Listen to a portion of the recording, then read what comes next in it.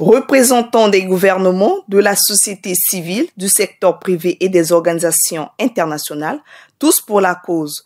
La réunion aborde des questions liées au pacte de partenariat. C'est aussi un partage d'idées sur la meilleure manière de promouvoir une éducation de qualité pour tous. La réforme prioritaire choisie vise un relèvement du niveau des acquis scolaires en fin de cycle primaire qui aura un impact sur l'ensemble du système de formation. Elle mettra en place des conditions propices afin d'assurer des apprentissages de qualité pour tous les enfants congolais dans un environnement d'enseignement et d'apprentissage sûr, inclusif, qui tienne compte de la problématique du genre à travers des enseignants de qualité, compétents et motivés, des programmes d'enseignement pertinents et adaptés aux besoins de la société, un pilotage efficace prenant en compte les questions de qualité et d'équité. Au fond, les défis sont les mêmes. Le secteur de l'éducation dans les pays en développement croule sous le poids d'énormes difficultés. Et pour y parvenir, il faut apporter des solutions adaptées au concept. Cet atelier d'une importance capitale devrait permettre de disposer d'une version consensuelle du document du pacte de partenariat qui sera soumis à la validation et à l'endossement du groupe local des partenaires de l'éducation et du gouvernement avant sa soumission au secrétariat du partenariat mondial pour l'éducation.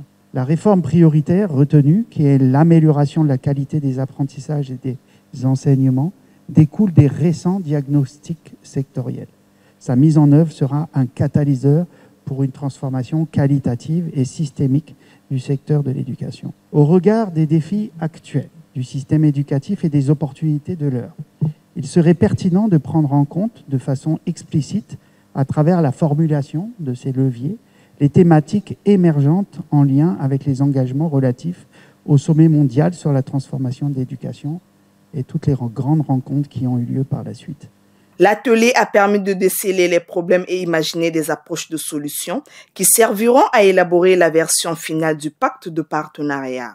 Au cours de cet atelier, permettant de renforcer nos perspectives, d'identifier des pistes d'action concrètes et de consolider les fondements d'une éducation de qualité pour tous. Je suis certain que vos discussions seront fructueuses, avec des suggestions et des idées novatrices pour une collaboration étroite et un engagement collectif afin de réaliser des avancées significatives pour euh, la transformation de notre système éducatif au grand bénéfice de nos enfants. Ce partenariat vise à améliorer l'accès à une éducation de qualité pour tous, un objectif du développement durable.